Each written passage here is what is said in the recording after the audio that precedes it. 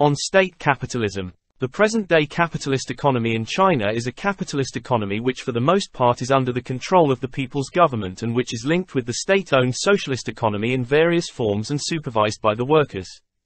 It is not an ordinary but a particular kind of capitalist economy, namely, a state capitalist economy of a new type.